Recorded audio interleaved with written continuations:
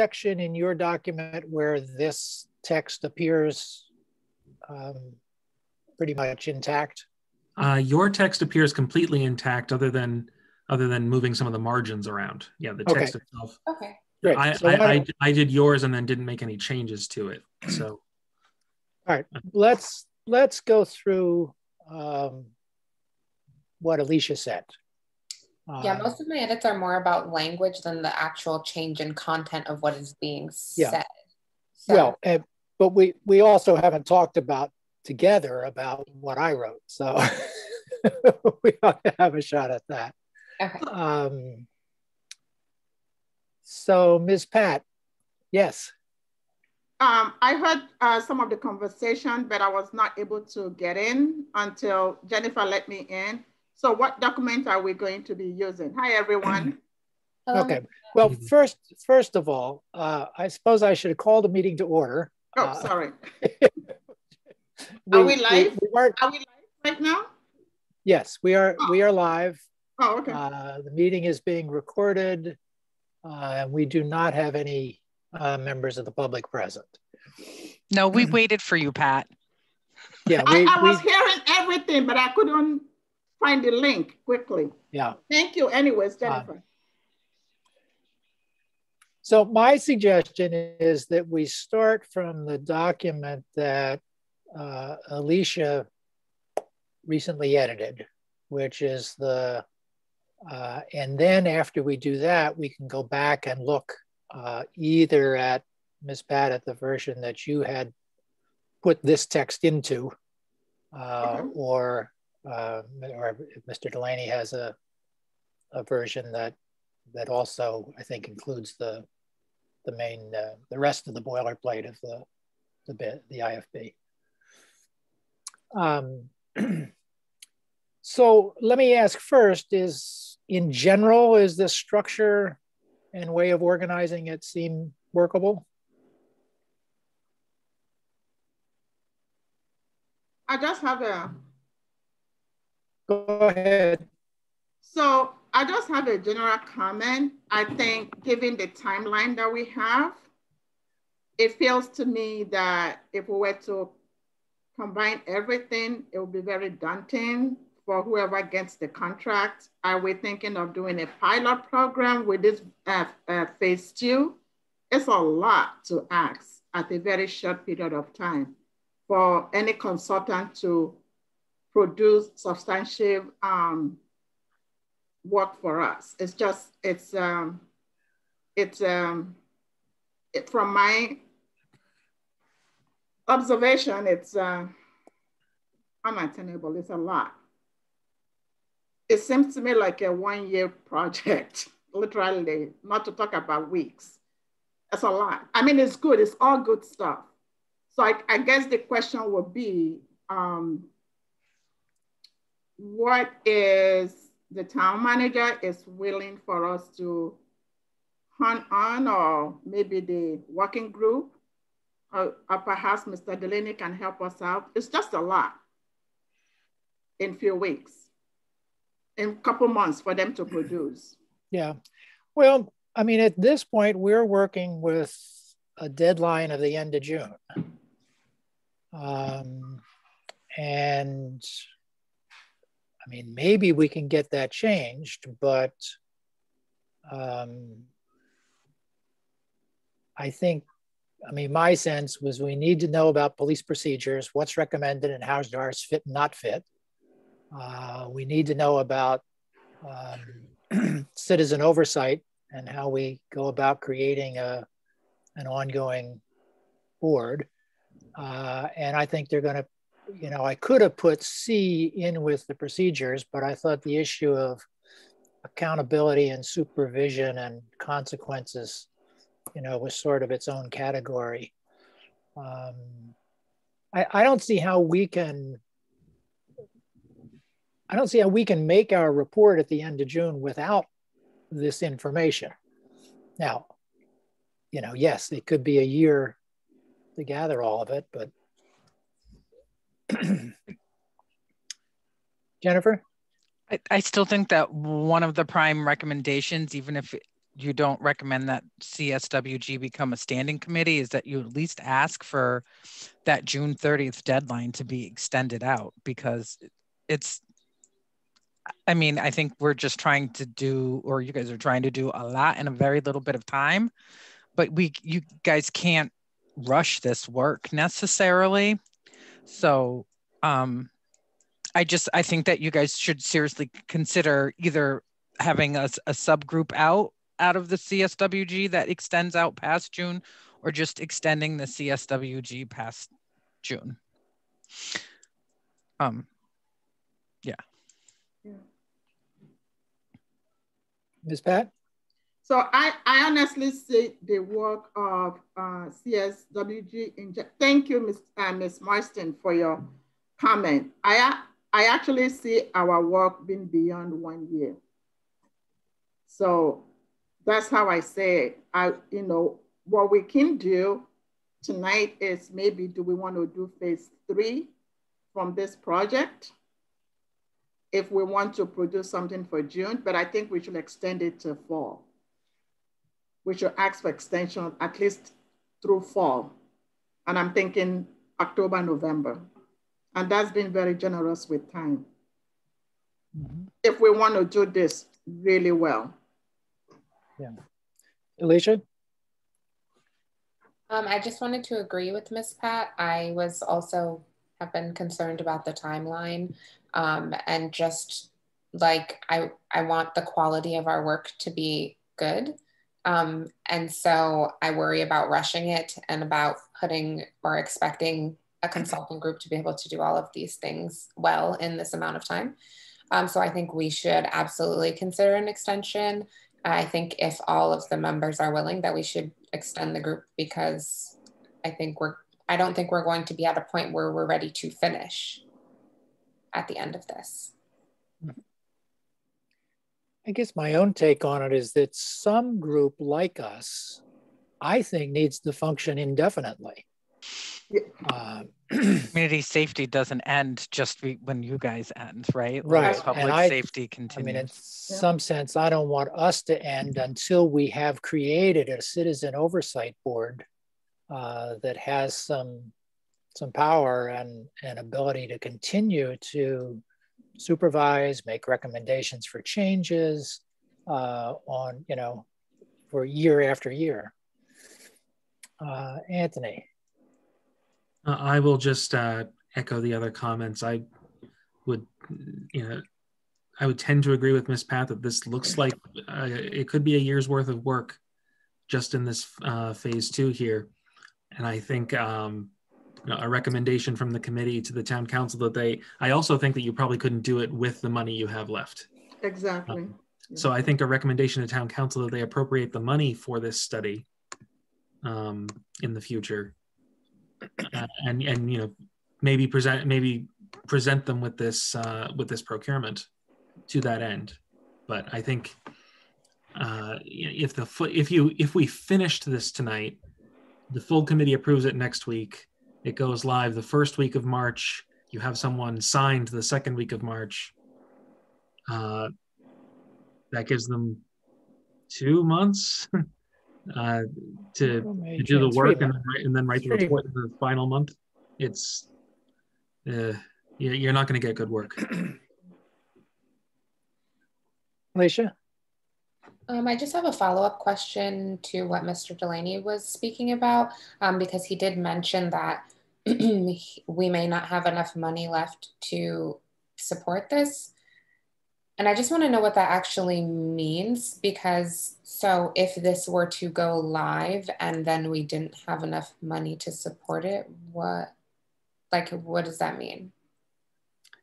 Uh, if the bids came in and the and you couldn't afford the lowest bid or the or the recommended bid, then you wouldn't be able to sign the contract. We we can't sign a contract if there's no if there's no appropriation.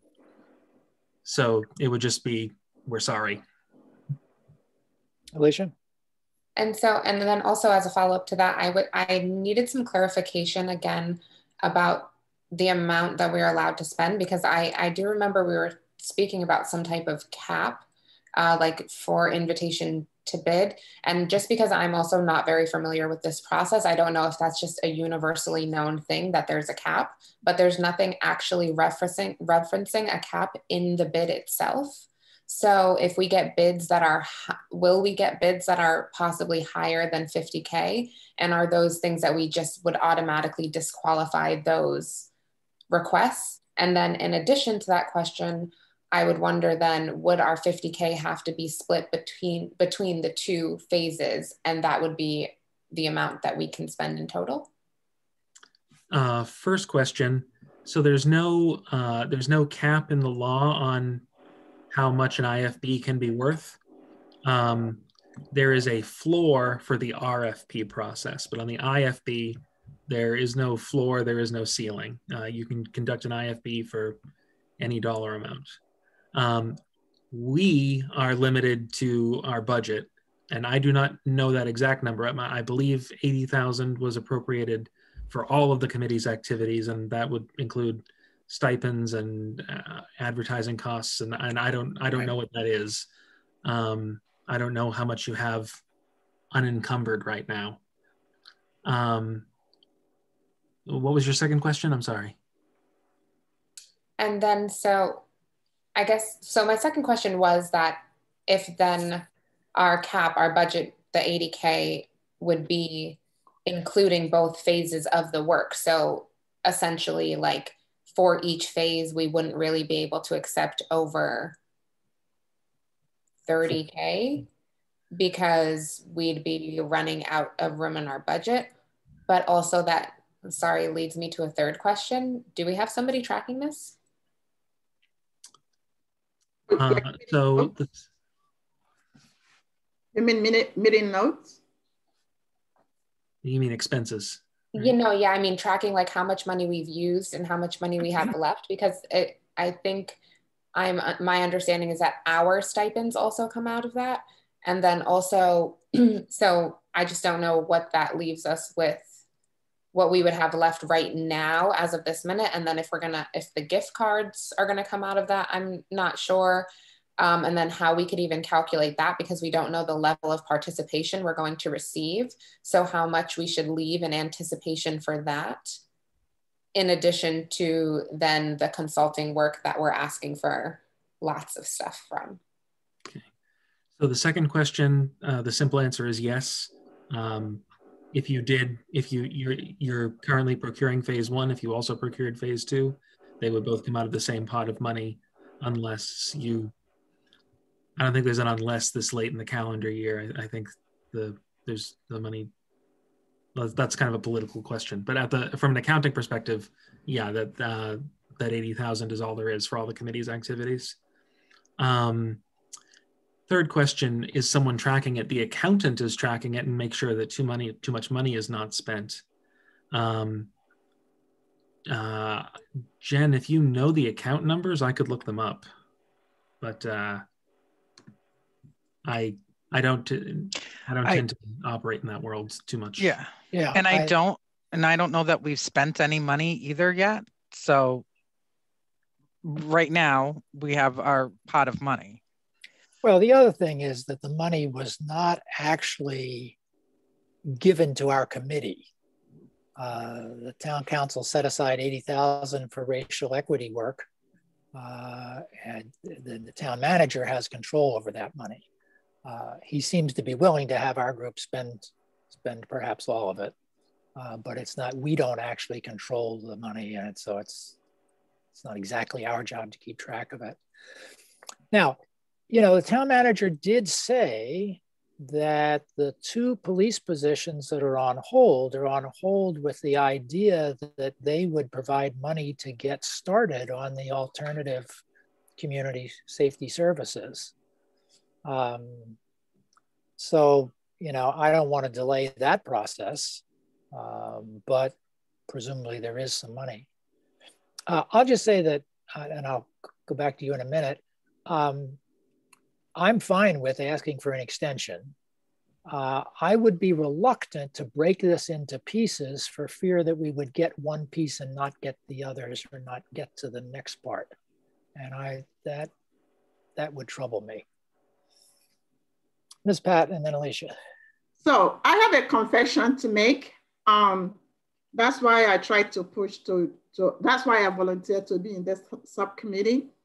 When I first saw the document and I did the math, uh, the stipend for eight members, eight 8,000, give and take maybe the 2K for gifts and what other expenses, leaving us with 70. I looked at the four different uh, projects.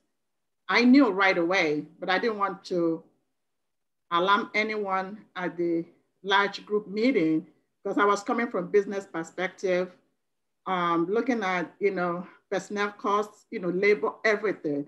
I'm like, even the seven day will be really pushing it for even the first phase. So I said, I'm going to right. um, be patient and hold it until the second phase. That way I can like um, speak about how I feel that we don't have enough funding allocated to do all the work that is required of us. Even, you know, I'll be surprised, you know, I honestly think some of the bid will come in way more than 70 because I've been doing research myself and see what other communities are, are doing and shelling out for this kind of study. We'll be lucky to, to get groups that will do it within our budget. So, okay, so I hear so, what you're saying, Mr. Ross. Um, I think we should do everything that um, we want from consultants. It's just you know question of timing. Um, so that whoever decide to do it would they would do a good job for us. Okay, so the three of us who are the members of the subcommittee here, I it seems to me we've made an agreement that we would like to extend our time, recommend that the time for the community service working group be extended beyond June. Is that correct? Yes. Okay, so let's record that as a Yes. Unanimous decision of this group. Uh, and I think I also heard a decision that we think more money is needed uh, to be able to hire a consultant to do what we think needs to be done. Yes. And we'd like to ask the town manager to figure out how to fund um, more than the money we have available. Yes. Is that everybody yes. in agreement there? Okay, so let's record that as a decision that we've made unanimously as a subcommittee. Uh, Jennifer, did you want to? Well, Alicia had her hand up for a while, so. Oh, sorry. No, it's okay. Um, I just wanted to say, sorry, I have to get back to my thought. Um, yeah, so just along the lines of what Miss Pat said, and also just to also reiterate again that I've never done this before. So most of my questions are really because I'm curious as to how this works and it's a learning process for me. Um, I'm wondering though, because I have had the same thoughts about the budget for the first IFB, which is already live. So if we come to the point where it's closed and we're reviewing and we have bids, like we're are we we're bound by the lowest bid. So even if our lowest bid is 70k are we bound to accept that bid? And then what would happen to the second portion if we use all of our money on the first portion before the second one even closes? Like and so when i ask if somebody's keeping track of that i know it's not necessarily our group's responsibility to keep track of the finances but i think it's very important for us to at least know like um, updates, if we can get updates from the accountants, like you guys have used half of the uh, allotted money, just be cautious because otherwise I don't understand how we can make decisions moving forward. Uh, Anthony? Yeah, so uh, to the first part, no. If the if the if even the lowest bid comes in and it's above our budget, we are certainly not obligated in any way to, to continue with the contract. We we say, sorry, all the bids came in too high, and we either do it again or we we figure out another plan. But we've done it before where where even the lowest bid has been too high and we just say sorry. Now you used the term budget there. We could have more money in our encumbered account than the bid and still reject it as too high. Is that correct? Yes, that's correct. The, uh, okay. if it's higher than the number you deem prudent, prudent, then yes. And we haven't done such deeming. And then can I just Jennifer. add please. in that I can get updates from the accountant once we really start spending some money. Um, that's not a problem and bring that to the group. Or you guys can also um, vote in a treasurer who either keeps it from what I'm telling them or is in connection with the accountant or whatever, however that would work.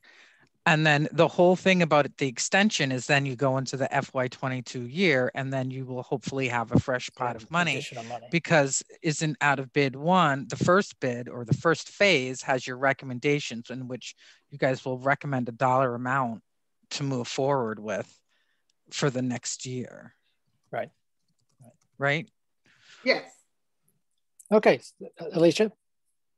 And then Ms. Pat? Yes, so I think that was also my understanding of it, but I was just concerned about if there would be overlap.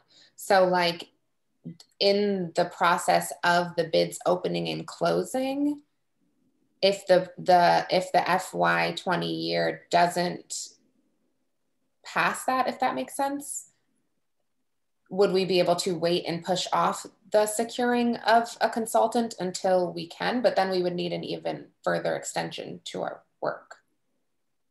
Like what like what would be the timeline that we would know that for sure we would have that available to us? Um, so whether you could push it off, whether you could hold the contract essentially until more money was available would depend on the nature of how this was appropriated. Um, if it were, if it was out of capital, then you could. If it isn't, then you probably can't. I'm, I'm not actually an accountant, so that's not a question I should answer definitively. Uh, the second question as to when you would know would be when the town council passes its budget, uh, which which could be quite late. Uh, I, I mean, there'll be drafts of the budget, so you'll have an idea of what to expect. But I don't, and I don't know exactly what that date is either. But potentially, it could be down to the wire. Ms. Pat? Worst Yes. case. So I also want um, us as the larger group to prepare ourselves in case we don't get, you know, consultant that meets our minimum requirement. And I'm a very optimistic woman, but for, you know, a couple months now, I kind of knew this is coming you know, because I'm a number woman. I talk in numbers and business. So let's pray that we get the right consulting firm that works out. The money really sucks. I'm sorry. It's just for what we're asking for. That's a lot. Yeah. It is a lot. So let me check, Anthony. Um, once the bids are open, there will be somebody who has the low number, but then we will need some time for our people to really examine the references carefully and decide whether they meet the minimum requirements. Mhm. Uh, would you then also come back to, or would someone come back to the CWSG and say, is this bid too high to accept uh, before we accept it, before it's accepted? Um, I guess that is something we um, will will want to work out. Um, typically, I don't know if I can even say typically because we don't we don't usually do procurements out of committees like this. Normally, it comes from from a staff person.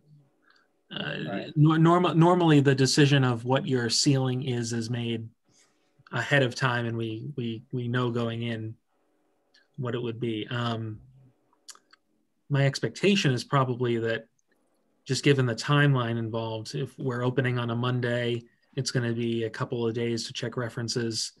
That the time would just kind of work out that we'd be coming back to the full committee with what the evaluators have found. Um,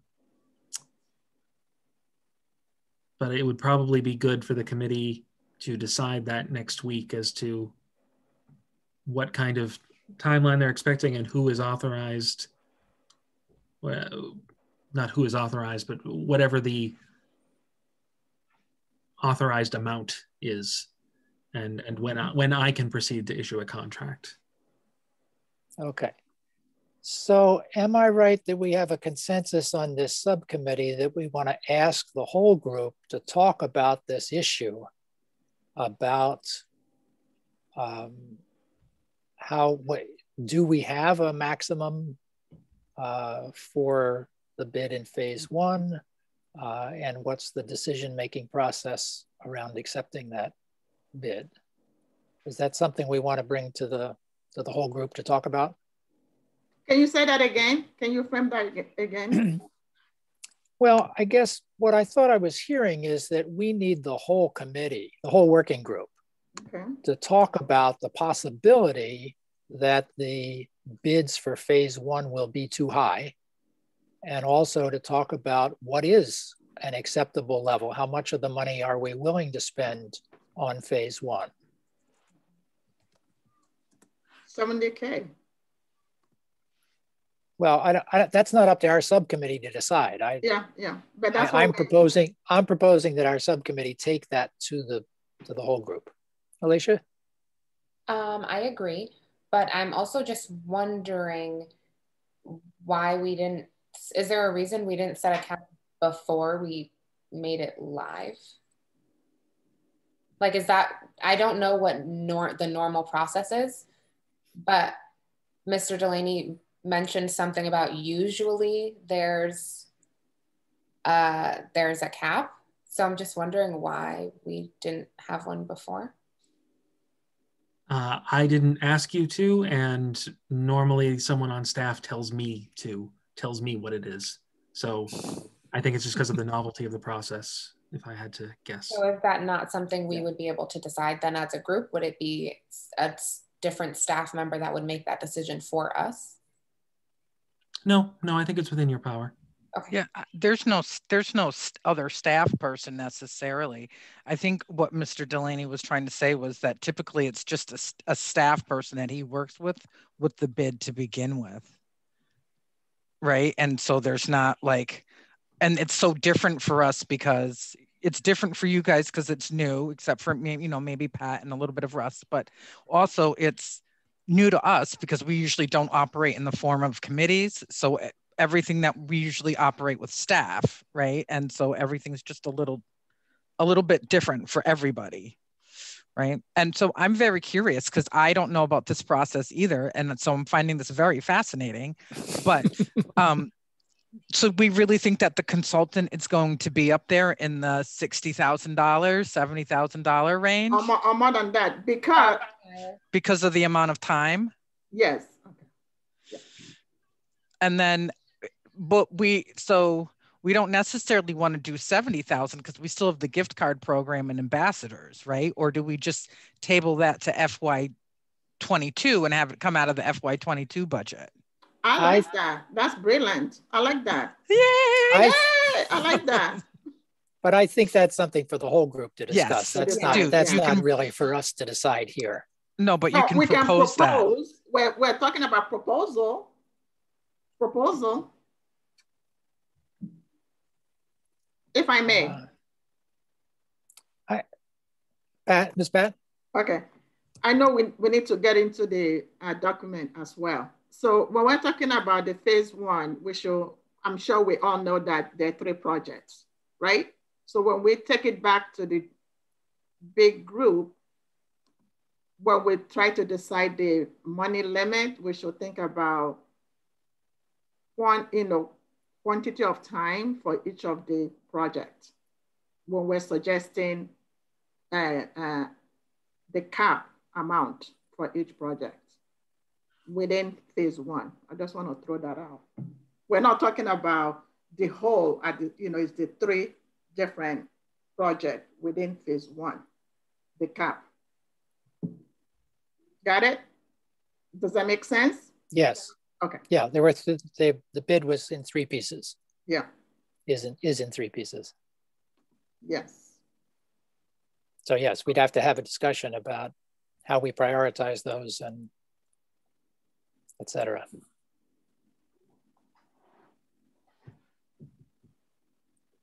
can we look at this document for a bit? Um, Yeah. Let's see. Um, does someone have, let's see, maybe I can screen share it. Thank See. you. Microsoft Word.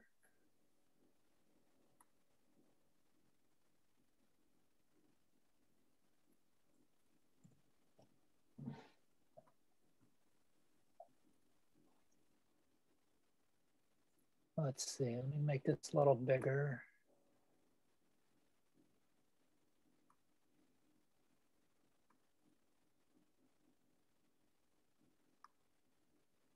No, I can't change it. Can you can you see that document? Yes, very well. Yeah, very well. Okay. Um, so I, I'm, ju- I'll just say, as I worked on this, I thought, you know, we, we're talking about a consultant, but what we really are looking for is a researcher, investigator, report writer, um, and maybe a little bit somebody who will work with the police department to find out. Um, but my general sense is that there are a bunch of recommendations out there nationally from established reports and from defund. And then there's the police department policies and procedures. And we really need to know. I mean, I think there are some places where our police department has already implemented many of the recommendations in terms of their written policies, not necessarily in terms of their practice. Um, but this first section was really, you know, how do we get at policies, procedures, and practices? What what's recommended and what's our what are our folks doing and how do we how could we change it? That was that's my summary description of 1A. Um, I like I like all the additions that Alicia made here. Um, but let's let's talk about 1A, 1 through 6. I mean, is we can go line line by line if you want, but is there anything in that first section that we want to change?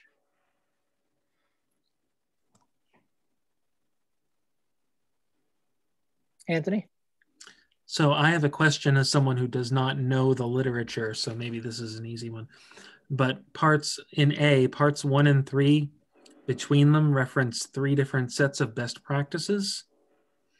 Um, and again, not knowing the literature, are they, is there overlap there? Uh, are we asking people to, are we asking for a redundant set of checks or do they do they do the three sets of best practices address different areas and they don't really overlap? Uh, i'm hardly a scholar of this but from my quick examination the two referenced in in number one i think are fairly similar but not necessarily identical. Uh, and one's 2015, one's 2019. Um, I think the recommended practices from the Movement for Black Lives and other defund police recommendations will differ significantly. Um, and but that we need to look at both. So perhaps, um, do you want to put in like 2019 then in number three somewhere?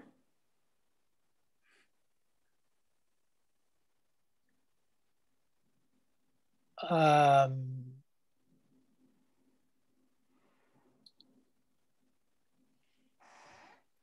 you know, I'm not sure that there's a definitive source or document. Um, I think, I mean, my there's a lot of stuff on the Movement for Black Lives website. Um, and I would think they would use the most up to date. But that that would be a, there may, there may be other written reports for Movement for Black Lives. I mean, I, uh, I'm, I'm assuming we're going to keep interacting with this person and can, can tell them, you know, the details of what we want, but do you have a recommendation, Ms. Pat? I'm thinking is that a way, like, I will confess that I, I didn't have time to fully like read it very well. I kind of like read it, did a quick read. So thank you for putting this together and Alicia for editing. Does this document, you know, incorporate, uh, covers the original one that the town put out for us to work on? Is my question. Is that an overlap? Is it? I, in my mind, this covers everything that was there and replaces it. You know, the original one, you know, I think Mr. Bockelman and maybe even what I worked on was, you know, what are the recommendations? And then I realized, you know, we really need the consultant to look at how do the recommendations fit with what's already in place and, and help us figure out what's missing. Otherwise, we're going to have a big job to do after the consultant is done. But we could go through this and then go see, we go back to one of the other documents, see if there's anything missing. Okay. But I, I want to give you I want to give you time to read here, Miss Pat, if there's if yeah. you want to look at it as we go. Okay.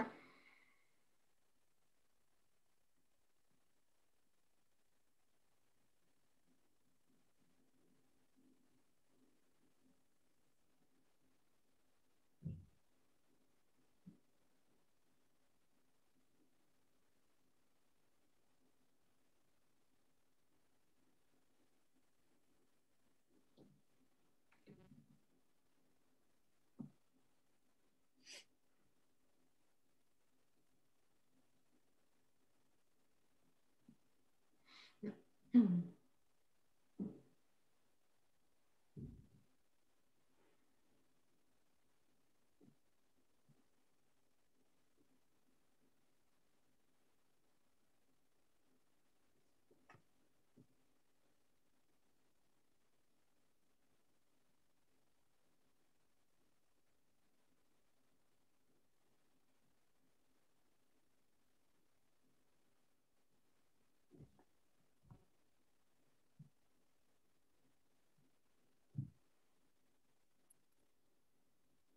Anthony?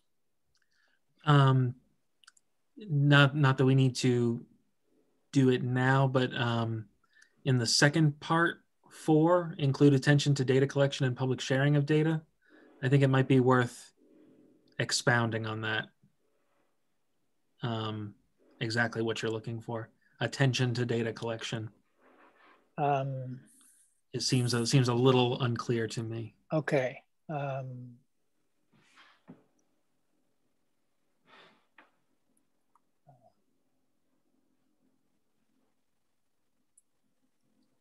about uh, analyze current APD, whoops, data collection and make. Data collection and sharing of data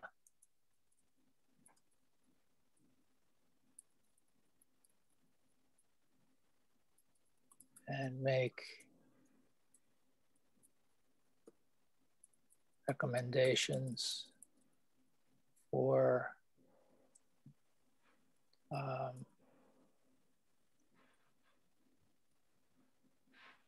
clarity and transparency or... well for changes where deemed necessary. Does that do it? That that's great. I like that Alicia? Um, can we add something about analyzing the data through a racial equity lens? What number is that? Or the it's same not, number? No, it's not any number. Can we just add it to four? Yeah. That's what I meant, sorry.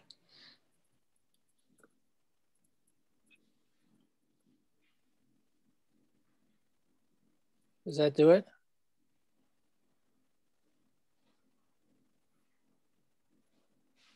This year,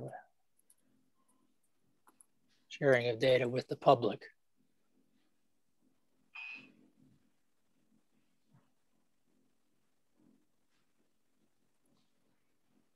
I mean, hopefully, our, if we get our consultant for phase one, they will have already done the analysis of the data for racial equity. Um, and what I had in mind here was more what data is being collected and how's it being shared and what do we want them to be collecting different different information or additional information and what are the recommendations for sharing it hopefully the analysis of the racial disproportionalities in the data will, I mean, that, that's in bid, our first bid. But I, I still like putting racial equity in here.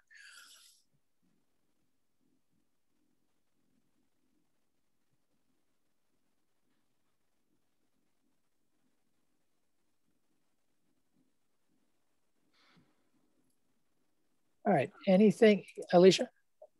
Um, yeah, sorry. So I agree with what you said, but I think it was it's more about not like the data itself, but the process of the the collecting of the data. Yes. I, that yeah.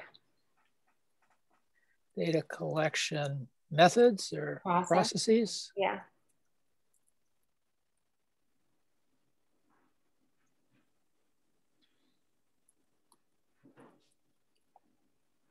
Let's make this including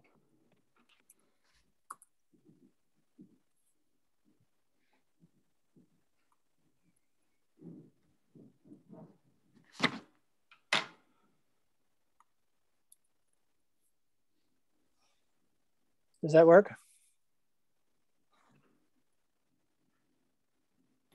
Yeah, I think that's um, better. Thank you. Yeah, no, I like, yeah, it really is the process that we're looking at here. I agree. All right, anything else in this first section?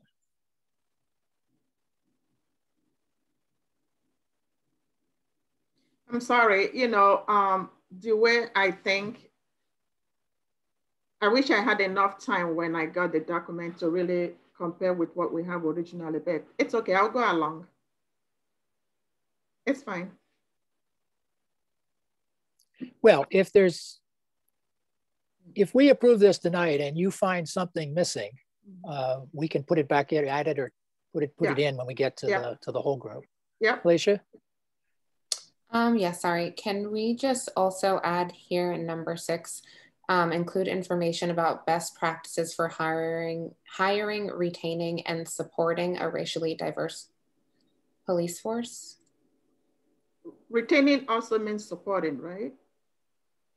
Well, you can keep them there at the job for like uh, financial reasons, but I think there support. needs to be an emphasis on the support, like, you know, whatever type of space needs to be supported for a racially diverse police force, which we don't currently have. Mm-hmm. So it may include some more changes. Yeah, I like that.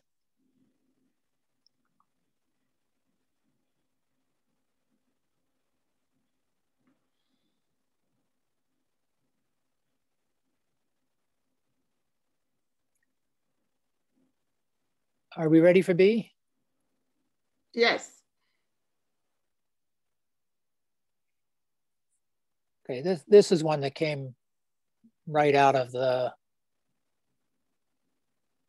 the ideas anyway, came right out of the earlier version. It was sort of like, where, where is the contract going to get in our way when we want to make changes, if at all?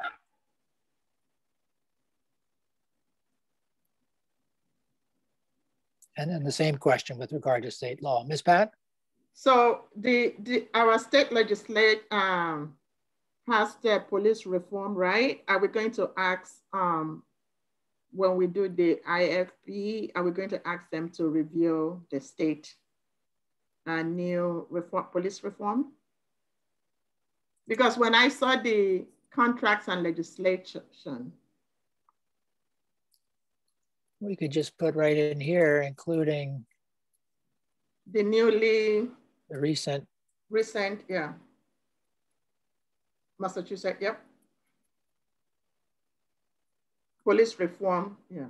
Legislation, yeah. Yep, good.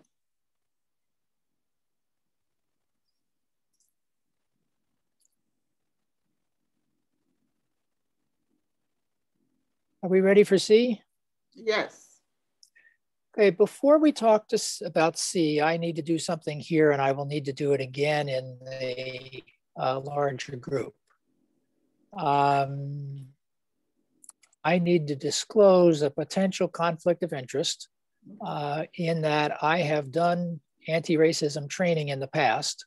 Okay. Um, and at one point was asked by a uh, trainer of color if I would be part of a team uh, to train the Amherst Police Department. It ended up that didn't happen. Um, and I do not, in, it's not my primary source of income. It's not something I do a lot. Uh, and it's not, I do not intend to bid in the future for a contract to train the Amherst Police Department. But I, uh, so I talked to the town manager about this and he had me contact the state uh, ethics, conflict of interest people. Um, they came back, they told me that uh, given the situation, the town manager had the uh, authority to say that there was not a conflict for me to participate on the panel where we're talking about training. Um, and it's not that I would ever apply to be the trainer for the police department, but if some trainers of color, you know, looked like the best trainers for Amherst and they wanted me to be part of a team so that they had a white man uh, on the team, I wanted to make it so it was possible to do that. Um, so this is full disclosure. Uh, the town manager has said he doesn't believe there's any problem as long as I make that clear to everybody. Anthony. Um, just to clarify, the town manager said it would be okay for you to take a paid position with an outside group to train the Amherst Police Department?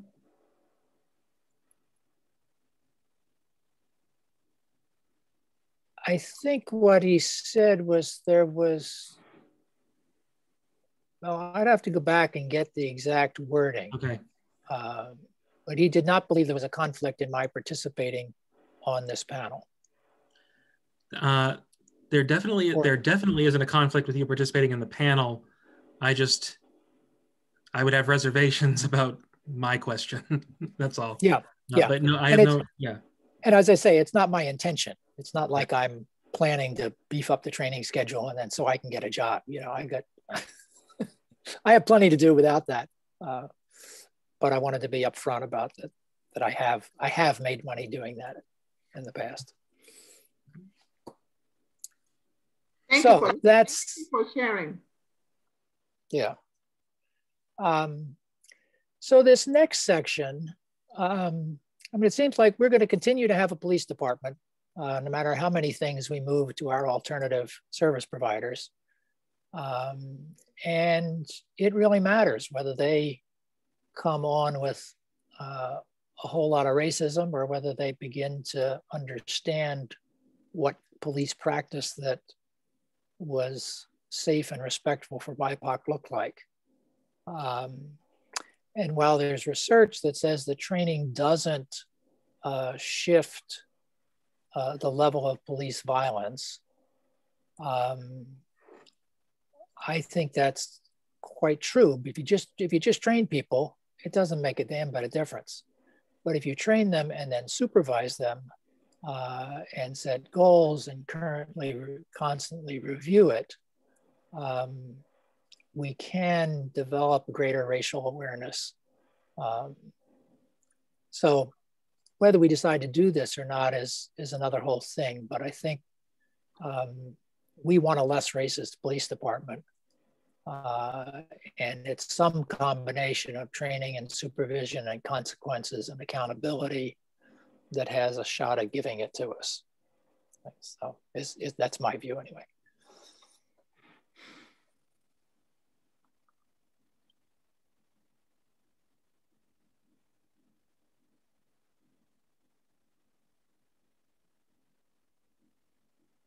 Mr. Delaney has his hands up. Yes, Anthony, sorry. So uh, on part C, I am imagining a bidder would have the question, which is how would the successful vendor go about finding out about uh, current training, levels of supervision, et cetera, et cetera? Is there a process, an information pipeline, a liaison with the APD that is already set up? Um,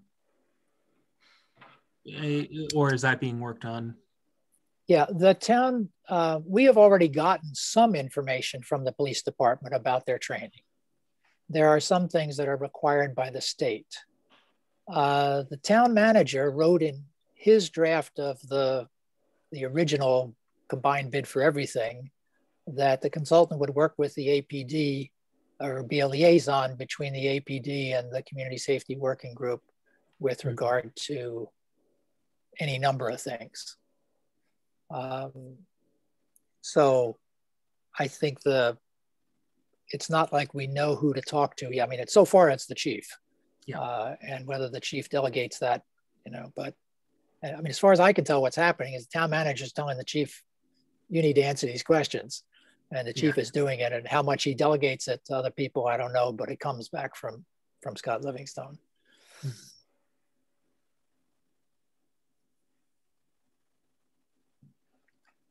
Ms. Pat.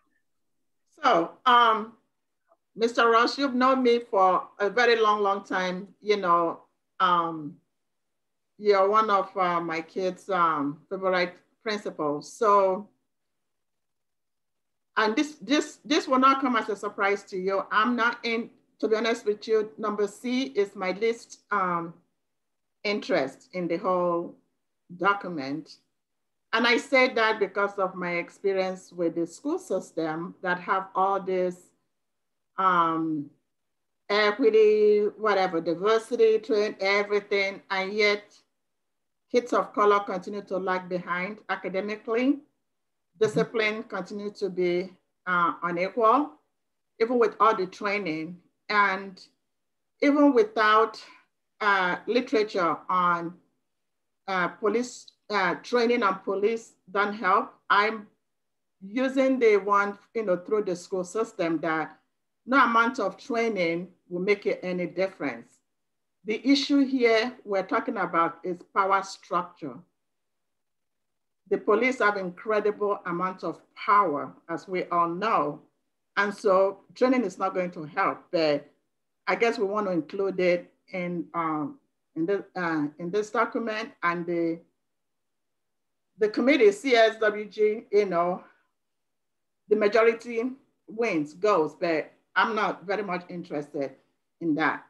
Another thing I forgot to mention when we're discussing about uh, budget money and everything, I'm hearing from community, uh, from residents that anything that has to do with uh, police itself should come from police budget and not, not, and not mm -hmm. to mm-hmm. call it racial equity work.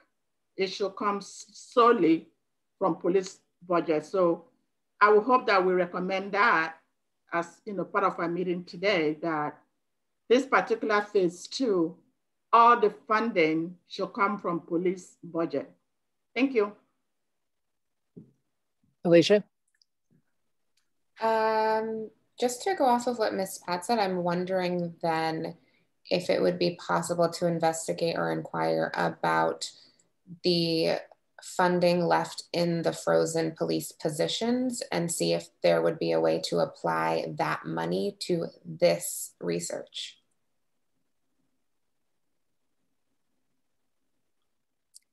I, I don't know. I, I think that's, I mean, I think we could, I mean, my hope is the town manager would apply some of that money to, you know, this whole bid.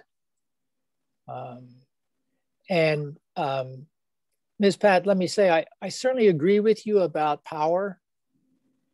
And part of my hope is that if we get a good citizen oversight process, we can shift some power to the community away from the police.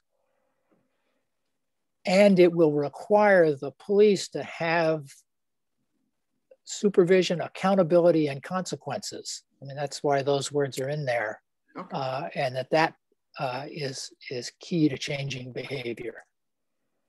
So I'm I'm in agreement, I'm sold. and I I agreed. I agree that our I agree that our report could call for any training to come out of the police budget, but we're not writing our final report here. We're just writing a a bid to get somebody to get us some information. But I told I will support that being in the final report. Yeah. So good, Okay, so we- good. Okay. Are we ready for D? Yes. Okay. And I this is my first look at Alicia's.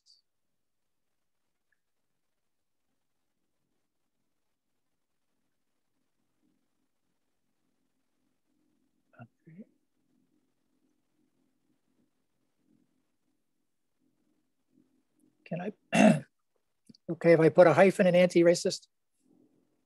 Yep.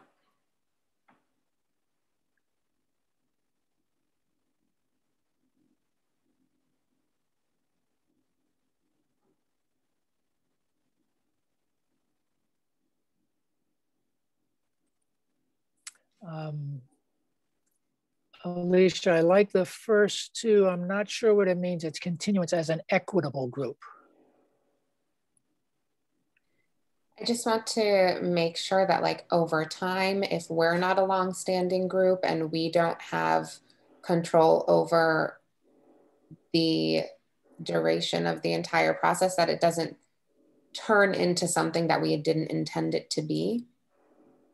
Um, so I just wanted to make that clear that I wanted it to remain that way and for things not to to change under the direction of other white people in power or or however it may Yeah. if we're Uh-huh. not But not our,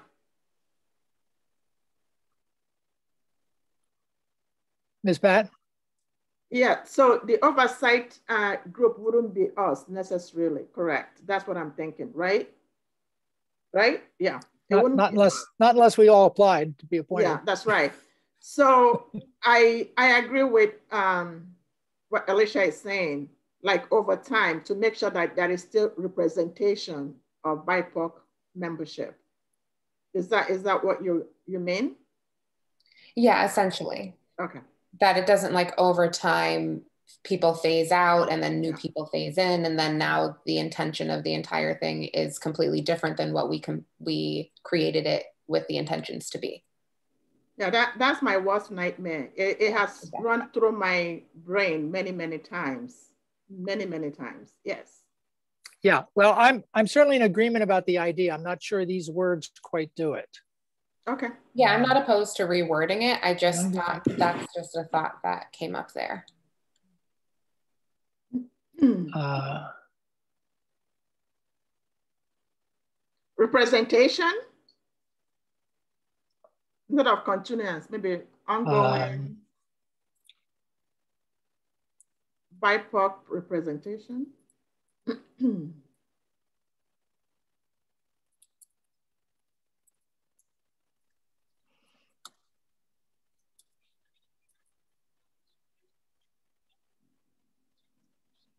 um,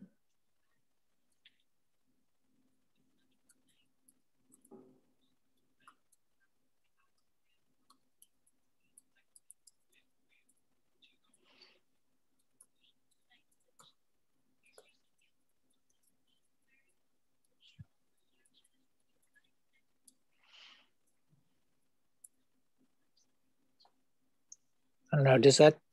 It's an awful lot of words, Right. but uh, Equity. Okay. Ms. Moyston has her hands up. Ms. Mo- yes, Jennifer. Um, so I don't know if this would be the recommendation itself, but it should be noted, like there was a specific target of, well, basically Paul was like, the three quarters of the group has to be BIPOC. Yeah. So I don't know if that would be in this or if that would be like more of the recommendation coming from the consultant, but that's something to consider Yeah. that you can Yeah, do may- in that way. You don't have, so that it's just written in the bylaws of, or the, the charge of the group so that that structure doesn't change. Yeah. Yeah. Like what we have right And- now. Yeah.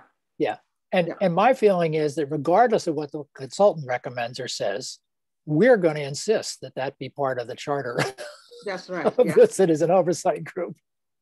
So I think- I model, I, like that. Yeah. Thanks, Miss. Yeah, I think it's brilliant. Yeah. Yeah, that's great. And I'll, let me, let's see. Mr. Delaney, you may need to cover your ears for this, but uh, let me, I will say confidentially to this group that I think our current police chief, um, you know, I think he's well intentioned, but I also think that he has figured out how to often say the right thing and even write the right policy, but not necessarily figured out how to get his uh, police officers to actually behave uh, in the way that's described in the policy. Um, and that's part of why I'm, and I think he is likely to back the creation of a citizen oversight group and then try to make sure it has no power. Um, and that that may be unfair, but that's what I want to be prepared for, and that's why I'm specifically asking these questions about how are they sometimes limited and how can they be those limitations be avoided. Can I And just forgive me if forgive me if I'm too cynical. No, No, you're no. not. I, I I'm with you. I'm with you. I've But- thought about that too. Can I just say that somewhere in that section, was it C, um, Pat, that you, Miss Pat, that you said you didn't really care about the training section? So it's not so much about training though. It's like, how do you get them to, how do you get the police officers to look through the lens of, for equity, right? Yeah. So that is the piece that we need. It's, Yes. and if, if that can come through Yeah. some training, but not all the training, right? Yeah. So it's just basically, how do we get them to see through the lens of DE? Or That's right. Yep. Yep. Yep. Well said. Yes. And I don't know where to put that or how that happens, but Well, that a good consultant will help us with that, and if he doesn't, we'll maybe Dr. Love can help us with that some, and we'll. But I think it has to be in our final report. All right. Anything else here about citizen oversight?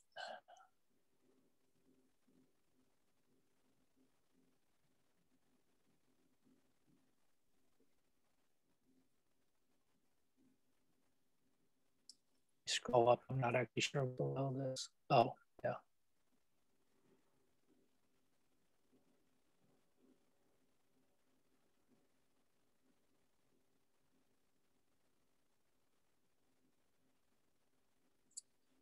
Okay, and then.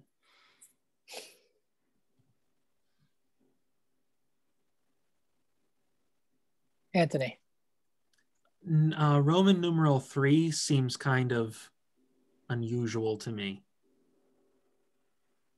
Um, there's a really well-defined set of questions and tasks and goals in, in Roman numeral one, but then Roman numeral three is about playing timekeeper, and it seems like a strange fit to me. well, again, I was working from something that I thought, I guess just the first sentence. The second sentence sentence is fine, but the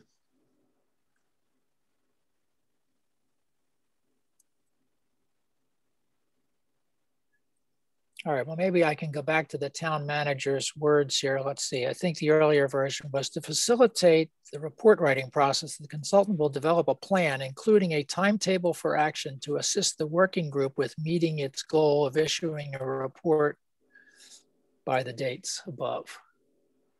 Um, do we like that language better? is there is there a report coming out of of this version because there's ifb number one has a report as its end product is there one here as well i guess there is Yes. four. yeah Yes, it's in the bottom of four. Yeah. okay Um,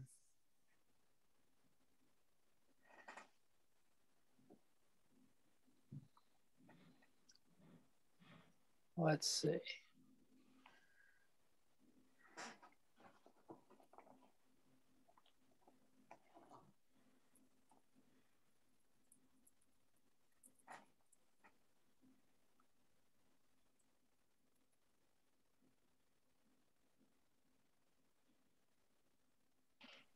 Mm, Alicia has her hand up. Yeah, go ahead, Alicia. Yep, I'm just wondering, or as clarification to this section, because beneath we have like the timelines to be developed with the town manager and the CSWG. So are we referencing two different timelines or would we be also developing that timeline with the consultants?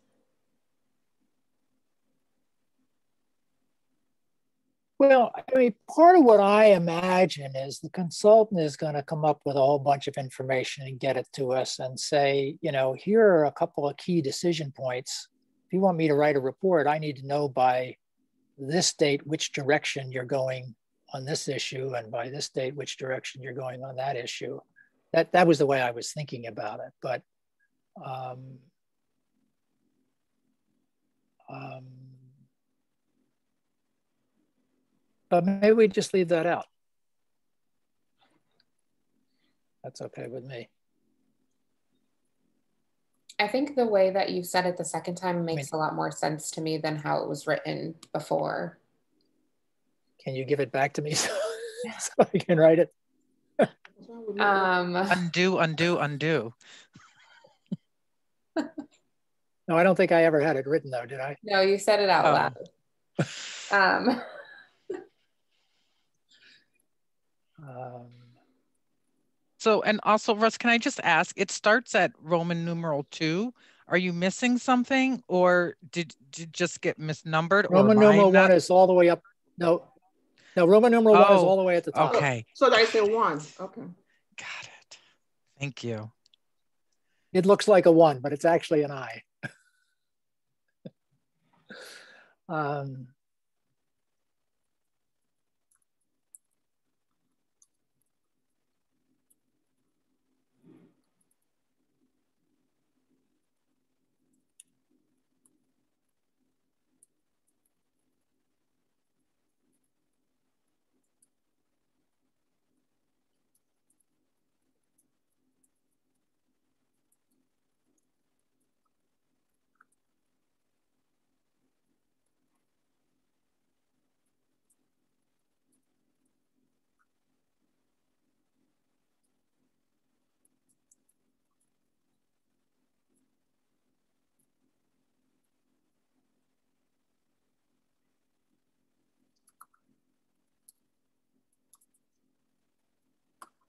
Does that come close, Alicia?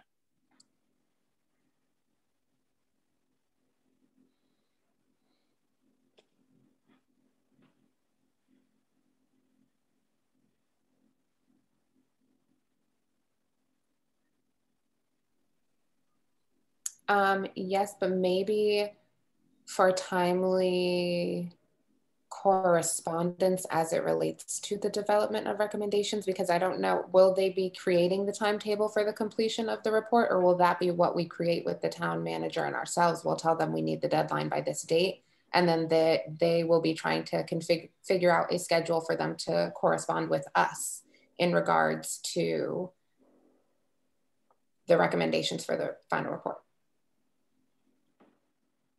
Okay, can you suggest, I'm, I'm I, I'm in agreement. Can you suggest some language? Um, yeah, it was just um, to develop a timetable for timely correspondence in regards to the development of recommendations for inclusion instead of completion, because I don't, I mean, correct me if I'm wrong, but I don't think they would be coming up with the timeline for when the report should be completed. I think they would just be coming up with the timeline as to when they would need to know from us which way we're leaning on certain issues in order to inform how they write their report. Can I say communication instead of correspondence? Yeah, I think that's fine.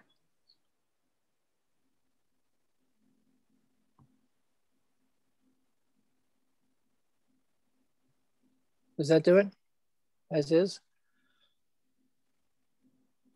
I think that works better for me. Mr. Delaney, I'm wondering if that is more clear than what we had before because that was the initial question.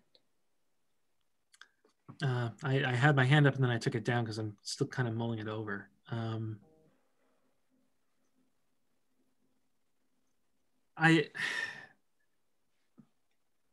I, I think my general recommendation is that this group or the committee should develop as much of a timetable beforehand and, and set it for the vendor. Um, going in, hiring someone and going into the relationship without without a, a timetable, even a even a timetable for communication, uh, I think would be perilous. So I would urge I, I would urge you to to have uh, target dates. You know, they they may slip, they they can, but um, you know, analysis of procedures done by certain date, rec- uh, recommendations for best practices done by another date, and uh, attending biweekly meetings for that period. Some something whatever whatever it is. I, I would urge you to have it let sit down. All right. Can can we just delete the highlighted sentence? Okay, let, let's delete that. Um, I don't think we can talk about a time frame here. We don't know whether we need this all done by mid-June or whether we're going into the fall. So I don't I don't see how we can set dates until we get some of that worked out with the whole group and the town manager. Oh, I wasn't suggesting you said it tonight. No. Yeah, yeah. Alicia? Um, yeah, so then I, my question would just be then, would we need to request an extension from the town council before we were able to finalize this document? That's a good question. I don't know. I think that's a town manager question.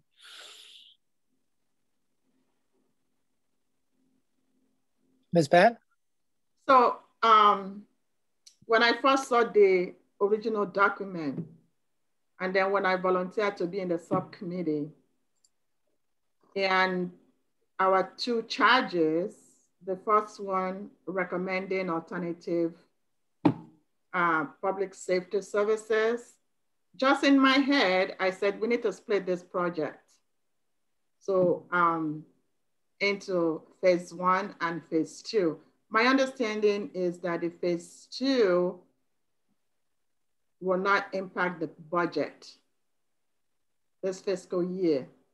The, the phase one, the alternative services, whatever we recommend, and if the town council approves them, it will need funding. So what I'm trying to say is that we should go ahead and, you know, do uh, complete the phase two uh, and then still request for extension. And if town council approves it, then we can plug in the dates. I don't think we should wait, you know, for them to, you know, for us to put this on hold to get approval from town council.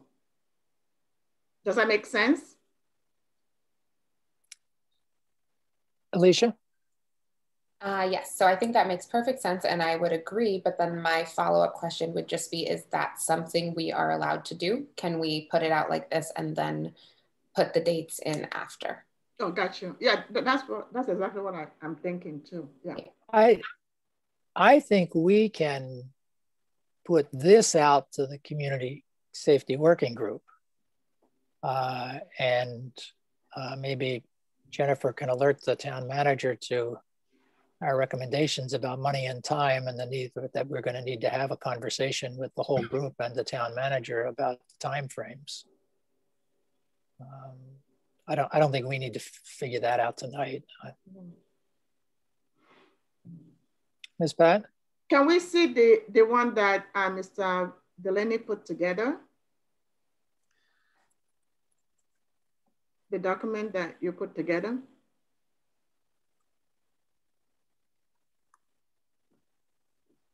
We're done with this, correct? Yes. Are we done with this one? Okay. I think we're done with this part of it. I'm gonna, let me make sure I get it saved. I'm gonna put it. The, the version, the version that I created was just Mr. Vernon Jones's text plugged, okay. in, plugged, plugged into our boilerplate. Uh, oh, that's so what I did too. Oh, I did the same thing. And then I got yours and it was essentially the same. Okay. So okay. um, I don't think it would profit us too much to look at what I did because it doesn't have any of the revisions or it doesn't it, it was only a format change it didn't change any text Okay. Okay. So we're keeping the same uh, minimum requirements, right? That's what, yeah. So is somebody going to plug this into the boilerplate now? I guess that's what I'm trying to ask. Yes. My, Anthony? Uh, so what I would offer slash suggest is that uh, you send me the final version, the whatever the final version of this text is at the end of the night, Okay. and I'll I'll plug it in to the IFB and turn it back to you guys sometime tomorrow. Thank you. Okay. That's great. And That sounds if you good. can just, any place we need a date, if you can just put date in capital letters. Yeah. Yeah.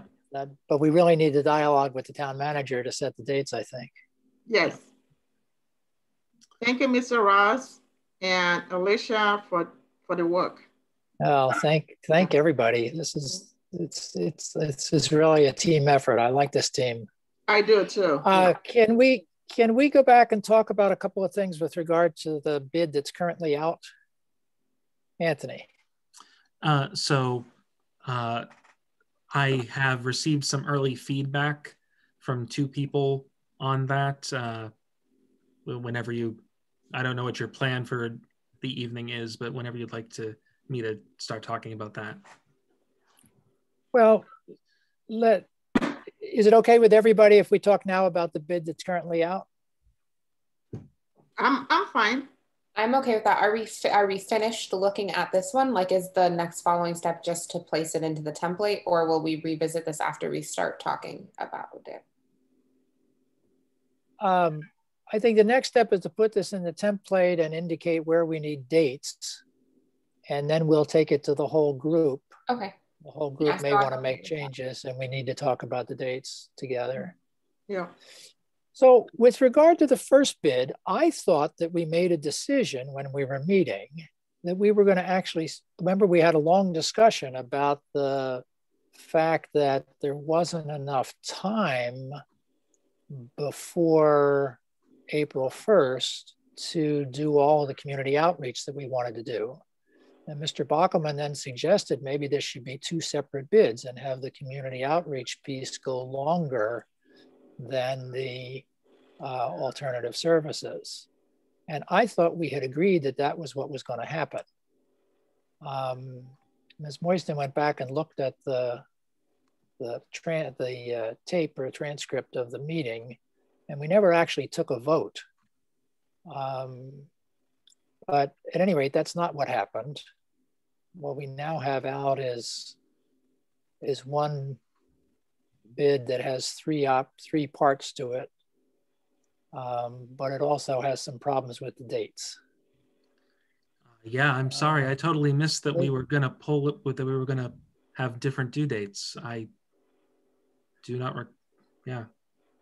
Okay, Alicia. Um, I also just had a question about the first bid. Um, so we, we talked about splitting it in sections and then the fact that we were going to be requesting people to submit their bid on each section. But it says that bidders can bid on any or all of the sections. And but I thought that we weren't allowed to say that because we would want to indicate in the beginning if we wanted one bidder to do all of these sections. So I was also just a little bit confused about that language because I thought that our intention in splitting it up was so that we didn't have one consultant doing all of the sections. Um, Anthony? So, so the way it's currently worded, where it says someone can bid on any or all, would mean that if someone bid on all three and were qualified for all three and were the lowest bid on all three, then yes, if that happened, we would have just one consultant. Um, I can't, I can't really envision a mechanism for prohibiting that just for the the idea that we would want to to split it to split it up. I mean, we're considering all three separately, but if someone has the best proposal for all three, then then they'll get it. Okay, yeah, no, I'm not opposed to it. I just was unclear because I thought that we weren't allowed to do that. Like I thought that was the case. So No, Thank we're, you it's, for it's, answering no, that it's, question for me. no, it's, it's totally fine. So if, let's suppose somebody bids only on part one. And somebody else bids on all three. Uh, the one who bids on all three has the lowest bid for the doing the total job, but that their bid for part one is higher than the person who bid only on part one. Can we take the, the low bid for part one? And then, Yes, the one, take the part of the one that, if they're the low bid on the other pieces, take the other two pieces? uh, yes, we're, we're considering an award for A, lowest price, an award for B, and award for C. Uh, the, the total price is on the form, but it, it doesn't really come into the award decision. We're, we're looking at A and B and C separately. Okay. Well, I do think we have a problem because the top of the bid document says that the contract will end uh, April 1st. And further down in the document, it has uh, due dates that are uh, well into April. So that's a problem regardless. Okay. Um, Anthony? Uh, I'm sorry. I am having technical issues. Jen, are you able to? I just got kicked out of my work PC. Are, are you able to get into Town Hall right now? Are you in? Are you in? Are you using LogMeIn? You're muted. I can't use LogMeIn for Zoom meetings because it ends up playing out on the Yeah. computer at work. Yeah. No, I, mean, don't I'm have the camera there. uh, okay. Are, No, are I you I'm- looking for the bid? Yeah, I was hoping to look at the bid, but I can't get into my work computer right now. So Oh. Russ, do you have it? I'll. I Um, think so. I think I'll, so. no, it- I'll just pretend. I'm it's okay. I'll just pretend I'm a bidder, and we'll go into the public portal. Oh, you know what? Actually, I can get it. I know how I can do this. No, I have it here. Here. Okay. Uh,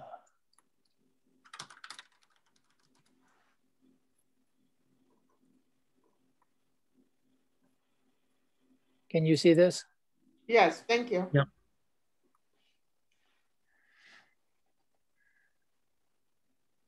Okay, so It's not in here, It the is. term of this agreement shall be stuff until there. April 1st. Look in Isaiah's closet.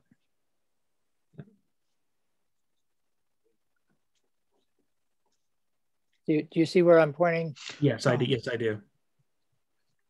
Sorry, I was talking to my son. And And, then, and then we have later dates down further. Yeah. yeah, we've got final report April 30th.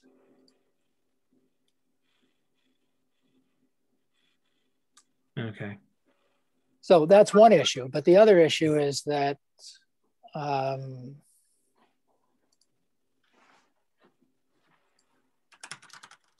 I don't know, maybe is is April 30th late enough for the uh, the community outreach piece? I mean, this looks like part B, final plan, April 2nd. Um, that's the that's the alternative services part, right?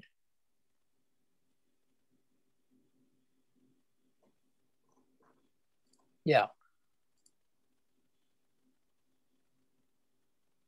So I think that final, I don't know why it says plan there. I would think that there was also a report for part B.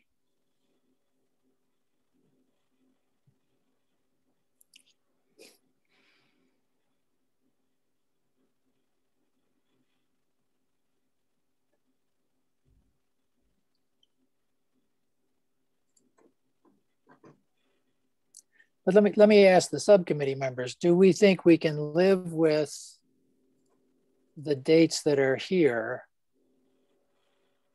Is part B is a final plan and report on April 2nd, and then outreach, the final report April 30th.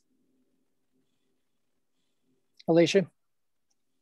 I can't specifically recall how our meeting went, but I thought that we, the 30th was the last date that we could push it out to because something needed to happen in the beginning of May. I I can't really quite remember. Was there a reason we chose that date in the first place? So I think that the the earlier date is a result of trying to get stuff in for the budget on time, right? And then the second one was still so that Paul can get a report to the um to the council. I think, right? Because right. the the earlier one has is because of the budget. We don't want to wait to the last day before the budget is due. Right, and the it was his latest date for the budget was May one, right? No, he he submits his budget for May first. Yeah, so and Deborah was like, we can't wait to. So I maybe I have it mixed. So the reason why the April 9th deadline or the 23rd one was no for part B is 4 to 2021, right? Yeah, that was to part, make the budget. Part B was alternative services for the budget, and we yes. went back and forth between April 2nd and April 9th, and I don't know whether we ever really decided. Um, well, it was April 9th, 9th I yeah. believe. Yeah, April 9th. Yeah, I thought that I thought this here this was going to be April 9. Yeah. No, no, no, no, no. We can't change anything right now. You can't. I mean, yeah, we. Will, no, no, no, no. I was just highlighting it. Oh, okay. Um, and then Anthony, I can um, show you the meeting or send you the meeting if you need like a confirmation and then that was what the decision was made. I mean, I mean, we had a lot of dates going back and forth that meeting. Yeah. yeah. What I what I have here is where the document was at the end of the night. So, um, I I don't need to go back to the meeting. I'll I'll change it to whatever the we'll issue. I'll issue an addendum tomorrow with whatever the correct date is. I'll change the date in the purchase description to be May one, or whatever date uh, mutually agreed upon. I will change the Part B final plan to May, to April 9th. Any other any other changes? Well, can we make Part B final plan and report? Final from final plan to final report. So so you're amending. You're going to be amending the, the bid IFB. Mm -hmm. Yeah. Okay, so the April 9th, I thought is when uh, CSWG is going to be, uh, be presenting to town council for uh, draft recommendations of alternative public service. service. I, I thought that's what is happening that day. I think uh, Deborah has suggested that date. it might be the reason why we have the April 2nd. I could be yeah, wrong. Yeah, if, if you're presenting on April 9th, then you'd need yeah. the, the report. That's, that, that's my recollection. Yeah, I, I think let's let's leave part B at April 2nd. Okay. And give us some time to work with whatever they produce. But the question is, how long do we want the outreach to go on?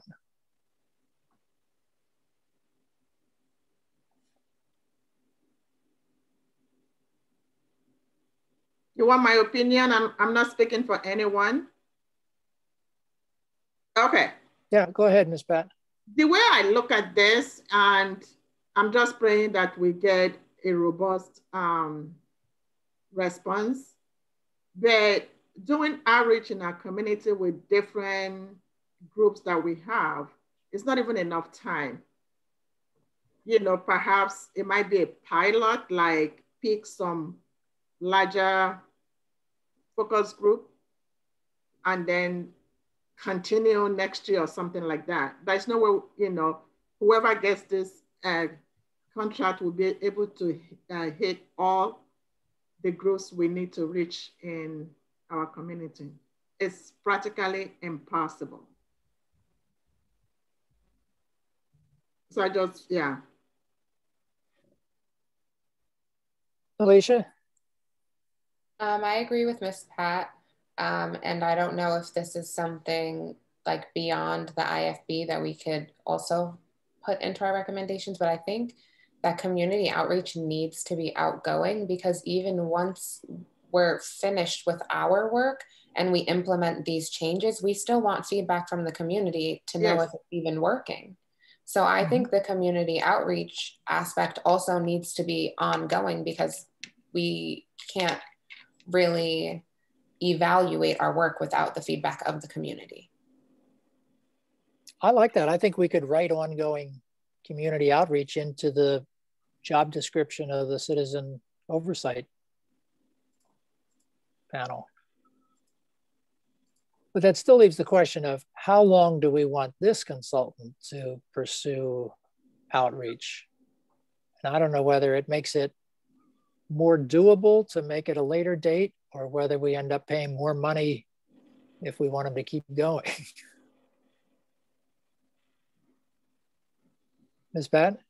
Perhaps we may want uh, whoever gets this contract or when we're doing the amendment to this document to emphasize to hit BIPOC community first in their outreach.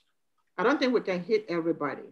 We can't hit everybody. I, we cannot. We... So that would be pilot to do that. And then maybe next time, you know, uh, maybe next time, it, then it could be like town employees and, you yeah. know, other subgroups too.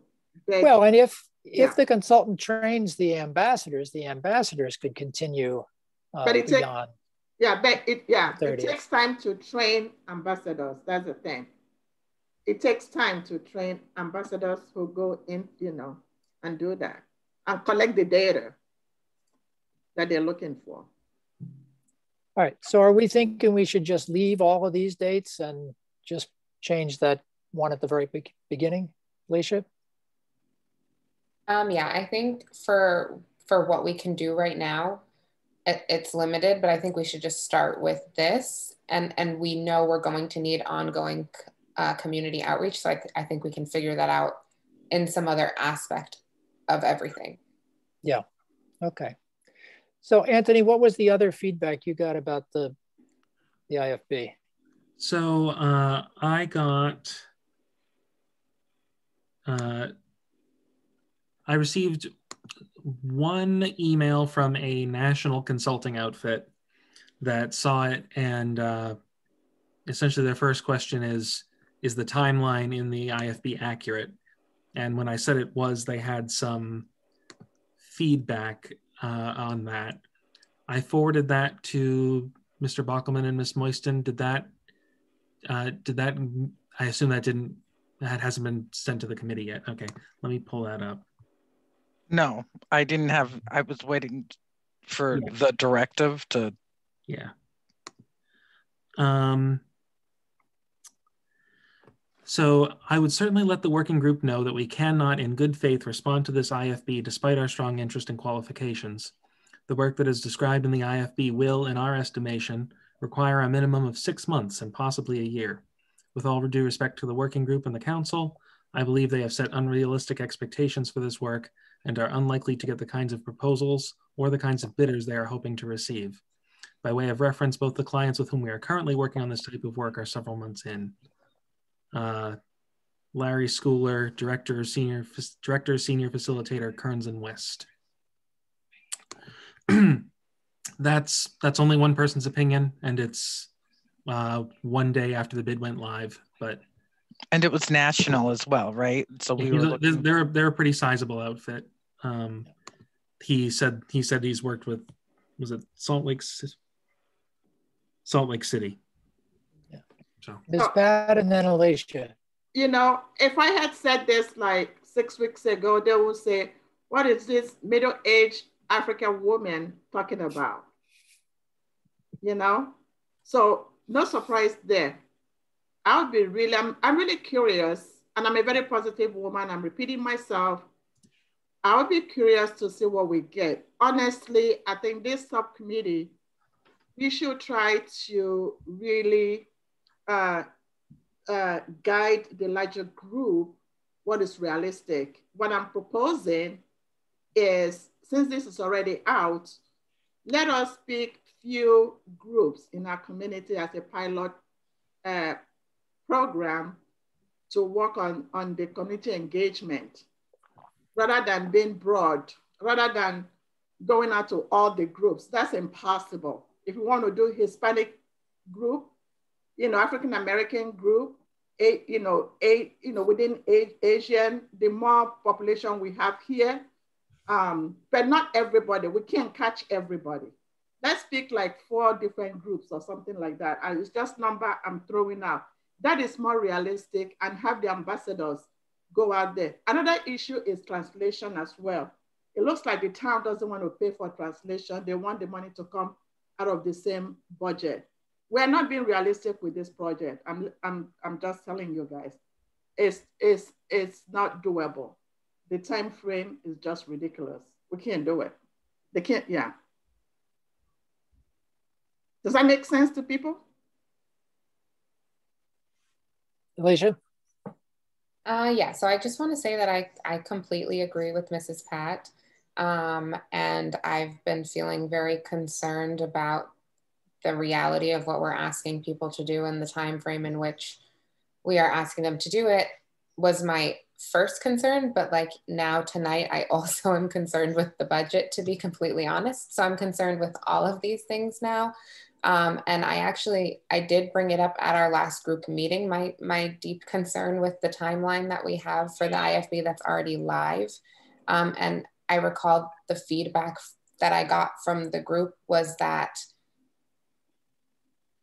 we're more concerned with meeting the timeline because we want our recommendations to be taken seriously and to be able to inform the budget process of the next fiscal year. And we don't want our recommendations to be not considered because we don't meet a certain timeline. And so I think if we're going to be realistically thinking about that and looking at this, like, yes, the, the bid's already out. I, it's, it's live we're going to see what we get back if we get anything back and we'll evaluate then but i think we should be prepared for the reality that we might not get any bids at all and that that's going to push us back even further because then if we amend the document or put out another thing that's we have to go through this entire process again and so i i just want us to be realistic or maybe come up with a plan b as a group for if we aren't able to retain a consultant to do the work that we need to do in a reasonable amount of time because we also don't want to waste the time that we have trying to figure out how we can retain a consultant. So I don't know where to start really with that, but I think it's looking a lot more likely. And I, I had kind of feared this before because this is a huge ask. And I, and I think this absolutely needs to be documented in our recommendations that, that this process, like I know this is the first time we're doing it, but it was very flawed. Um, and in order for us to make appropriate recommendations, we would have needed more time for this process itself, let alone the process of actually getting to the process of making the recommendations. So I, I don't really know what to do with that, but that's just how I'm feeling right now. Jennifer?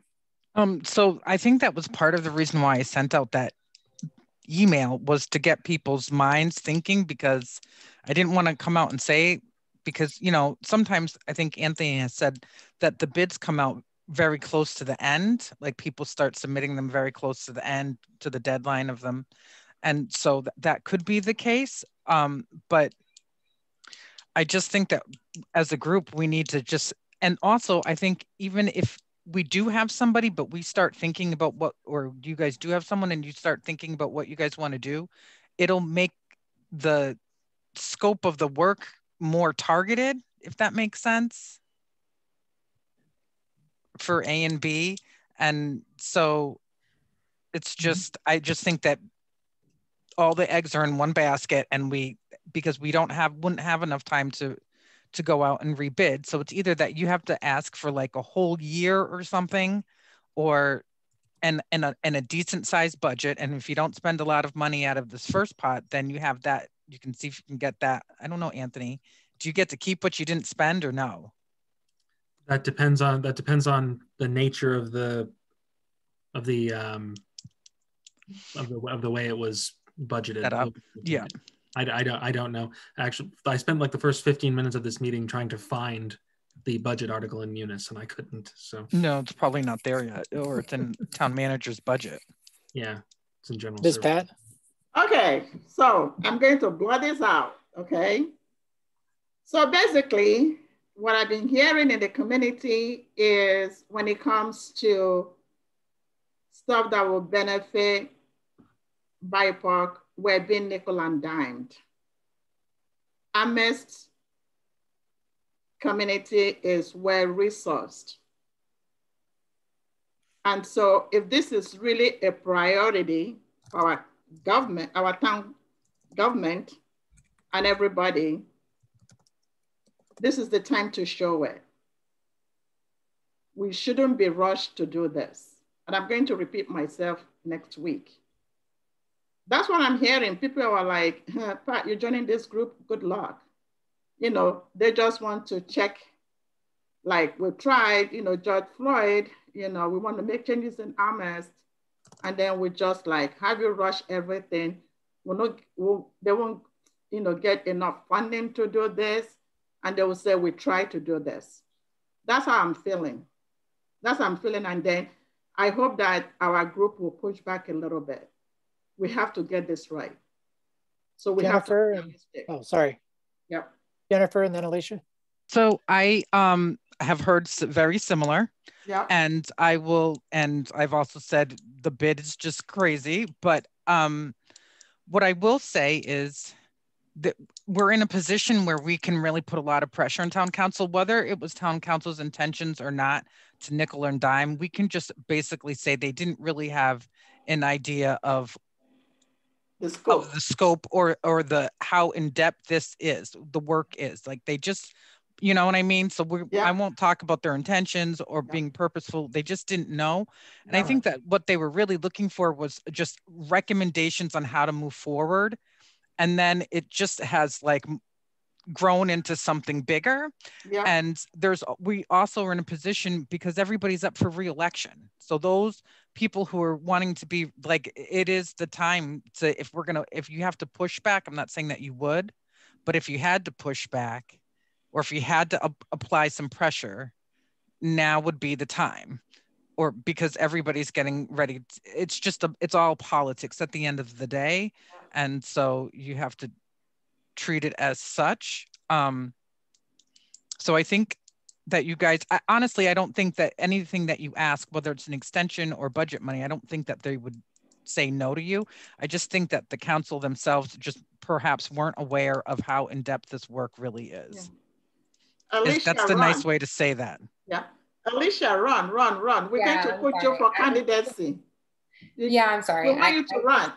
also i'm not ready yet but i i also just think that yeah so i agree with everything that miss Moyston and miss pat said. Um, i have also received similar feedback from the community that that we're being asked to do this work for a ridiculous amount of money and i'm feeling very much the same way myself to be completely honest and i'm very optimistic. I want to make that clear but i'm feeling slightly discouraged because Amherst is a very wealthy town and it sort of pains me to hear town officials talk about how we don't have it in our budget to do this, we don't have it in our budget to do that when we're talking about things that are going to benefit the community that we're trying to benefit. And we already have poured generous amounts of money into the white affluent communities that don't really need it. So for us to take tiny bits of that money and to invest it into a community that's suffering Yep. it, it, I don't understand where the question is there. It, it kind of frustrates me, um, especially with things like like translation services. Like I, I understand we're also a smaller town, and it makes more sense for bigger cities to have translation services readily available at any minute. But that does not matter because that adds to why our community is not equitable. Mhm. Um, and if we're trying to have an equitable committee, uh, community, we need to address these things.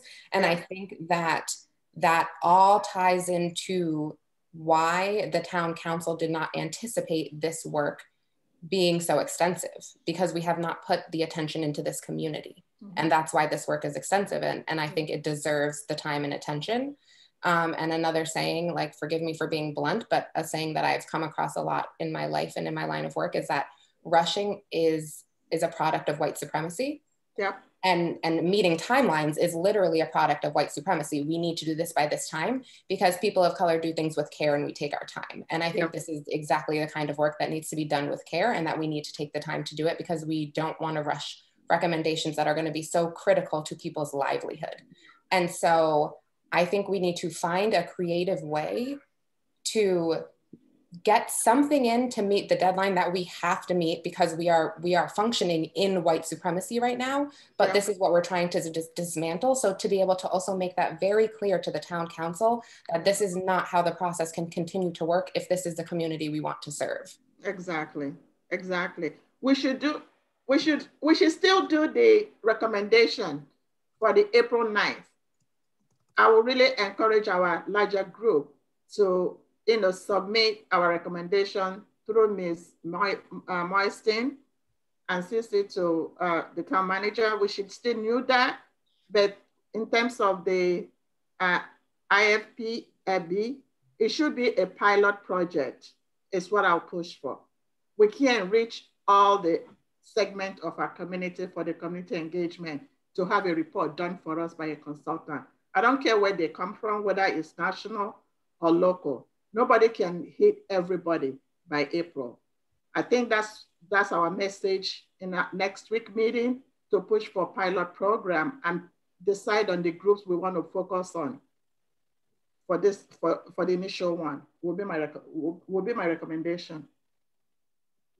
Yeah, uh, I'll say I'm in tremendous agreement with virtually everything you just said, including the white supremacy and timeline uh, situation. I don't know that I'm right about this, but my recollection is this 80,000 got set aside early on in the process of the council responding around um, uh, George Floyd's murder uh, before the community safety working group was ever set up. And I think when they set you know, put us in motion, they were like, oh, they can use that 80,000. It wasn't like anybody ever thought about appropriating money that was dedicated to, to our group. Um, and I, am all for pushing more time, more money, long range. And I want to make sure we don't miss a political opportunity that exists because we have these two police department positions on hold.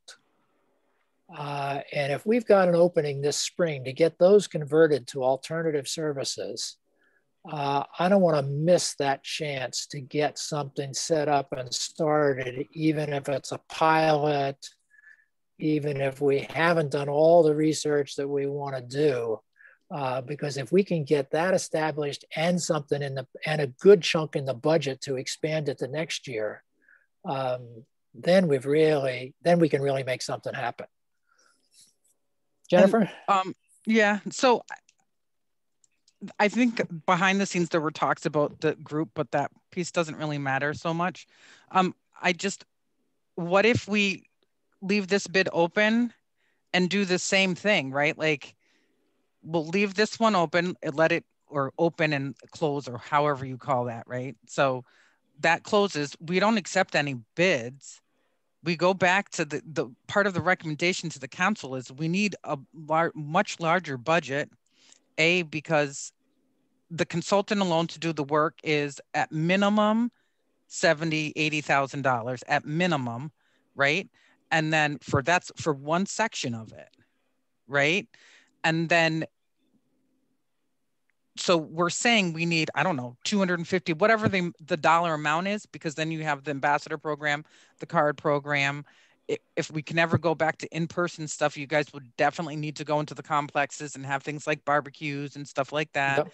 um, so you just you need money right? And so that's the biggest piece of of one of the recommendations is that you have a stable budget right? And then you, you take that and then you can kind of start over with this and the other section of it too. And then it, you can run it and say you have a year, right? So that people can get the work done and do it done thoroughly and or whatever amount of time the group decides that it would. But if we just table it all until after we put in um, the budget. So I, I think that one of the first things we need to do is address the budget. I think we need a strong recommendation for, or you guys need to. I'm so sorry. I'm just so into it. Um, yeah, we like it. We, we, like we it. know we know you're part of us. Yeah, we know we know that. Um, and I, I think that the two. I don't think I think that the two positions at the police station will stay open, but I think we need a strong recommendation on how to fill those two positions. And so we could say that three quarters of it goes to whatever social workers or whatever, however we want to do that. And then we have a quarter of it that's going to go to um, all the stuff that you guys are saying should come out of the police budget and not out of your budget, right? So then you can divide that up. Oh, I had one more really good thought, but I just it just slipped the top of my just slipped from my mind. Um, I just feel like we could, there's stuff that you guys could be doing now that's progressive and moving you guys forward. And my fear, there's so many ways to get trapped in local government. It's, uh, and, and it's not necessarily like purposeful. There's, it's just, it's so complicated for like no reason. Sometimes I know Anthony, you know what I'm talking about. It's like some things are just like unreasonably like complicated and it just, you're like, why? But that's just the way that it is for some reason right? But we you guys can can set a standard and set a goal and meet that and and appease everything. I i honestly don't think that anytime soon that you need to have a consultant for you guys to get those recommendations in. You guys need to send them to me. I can draft them out and so that we the duplicates we can get rid of. And then everybody breaks off in groups and works on those recommendations on how to get it done right? Like and then bam, it's done. And part of that recommendation is the whole thing with the consultant and the budget. Yeah. If I may add, um, I also want us to be very clear that when we're talking about racial equity work budget, we're not talking about the phase two. The phase two should take care of itself from police budget what we're asking for, I want us to be very, very clear that we're asking for phase one budget to be increased. I already know in my head how much I will throw out, but I'm just only, but only, I'm only one person from eight people, but I know what I have in my, in my brain, in my head that I think will make sense to do the three pro, uh, uh, project, but I can't. Yeah, and I so I I also just want to say that I don't know that the council necessarily well I do know, but I to be neutral and fair, like that they always think about things through the lens of DEI, right? So to give an unrealistic date to them isn't necessarily should be taken as an they just don't know, right? They don't look at things through that vision, they don't understand that. And I just feel like it's a good lesson for everybody and it's a good opportunity for us to to to show like you guys take i don't know six months to come up with one decision about one thing. How can we come up with a whole plan in less than nine months right? Like it's there's no right? So they don't they just don't understand. And so part of what it has to be is they have to be educated on why this takes so long right? You can't just change people's lives and not ask them. That's just insane right? Like you just yeah so, anyways, I'm I'm done. Thank you so much. Very helpful. Thank you. Yeah, that, that was great. Yeah. yeah. Alicia? Um, yes, thank you, Ms. Moyston. I really appreciate your comment. And I just wanted to say that also, though, I strongly agree with um, what Mr. Vernon Jones was speaking about before, and that I, I think, well, and I guess Ms. Moyston and Ms. Pat also said the same thing, that, that we still need to get our recommendations out regardless of the timeline. And so yes I, I like strongly agree with that. We don't want to miss it's a it's a huge political opportunity and we need to be on top of that. But i also think that there is a lot of value in our ability to present to the town council why this is problematic and i think we also need to be on top of that and in a timely manner so that they can work on addressing these things as well because our timeline is because of their timeline. So if we need to let them know why our timeline doesn't work to inform their timeline moving forward in the future. So I, I think like, yeah, what Ms. Moyston said, this is a huge learning process for everybody. So I think though that it's our responsibility to make sure the town council understands this because they're, it's not really a learning process for them if we don't bring it to them. Yeah. yeah. So basically they need to double the budget of whatever we have right now to do the phase one or even more. Oof, I'm thinking more. Don't you yeah, think more? more? Yeah. yeah, like triple. Yeah. Even, yeah. Yeah. But at least I mean, I don't know how I, I and and then you just have to go up a hundred thousand just because, right? Because they're gonna say, Oh, well, no, we're not gonna if, if we want three thousand and we say we need five thousand, and then they come back and say we're not um, gonna do five thousand, yeah. but, but, maybe we'll like do three thousand. I don't know if it works like that, but yeah. that's but, yeah. Because it, it involves labor, it involves and with the pandemic, it, it will make it more challenging. I guess what I'm not hearing tonight uh, as a consensus is are people open to pilot projects?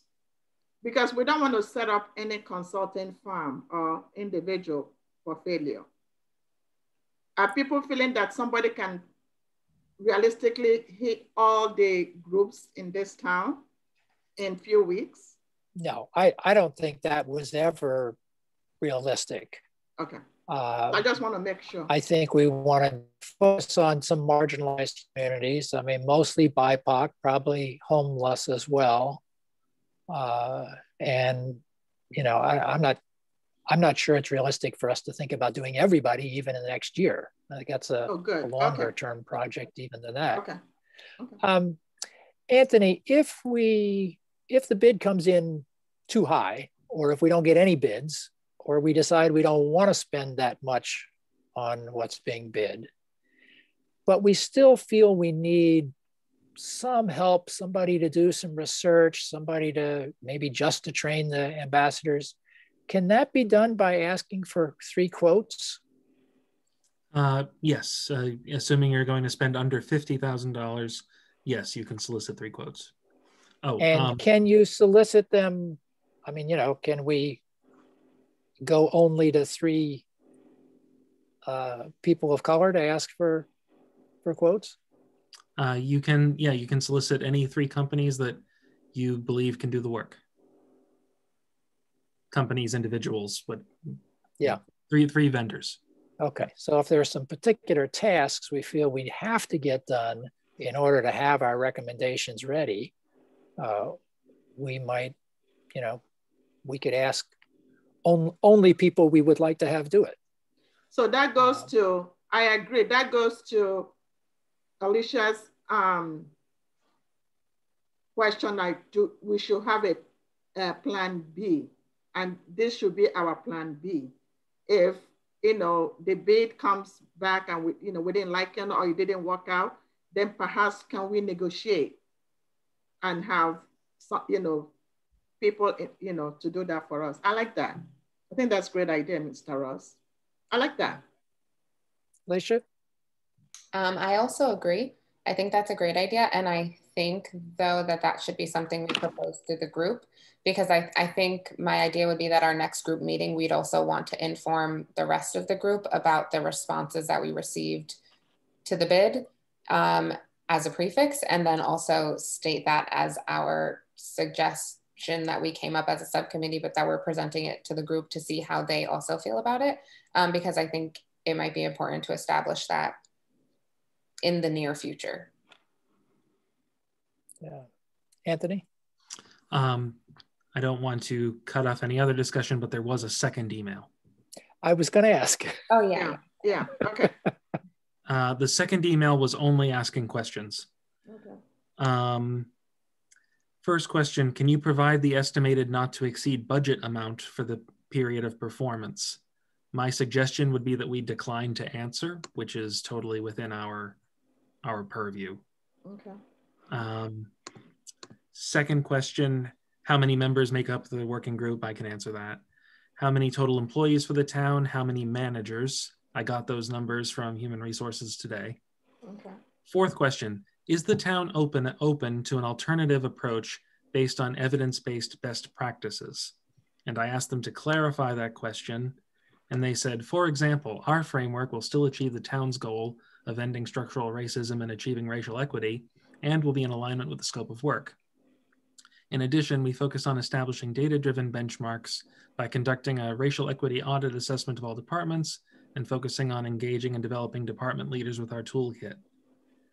Um, my suggested answer would be something like uh, the town is open to uh, of the uh, to the vent to a vendor's approach, but is not uh, able to make any alterations to the scope of work as laid out.